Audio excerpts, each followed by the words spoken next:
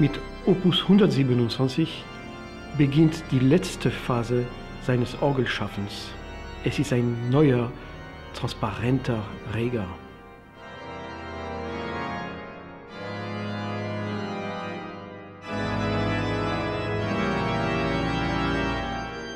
Zehn Jahre sind vergangen zwischen den Fismol-Variationen und der Passacaglia in E-Moll Opus 127.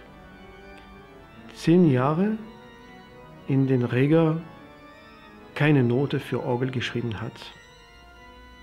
Stattdessen hat er sich sehr viel mit der Orchestermusik beschäftigt, nicht zuletzt als Hofkapellmeister in Meiningen. Und durch diese Beschäftigung mit der Orchestermusik scheint die Orgelmusik befreiter zu werden, gelöster.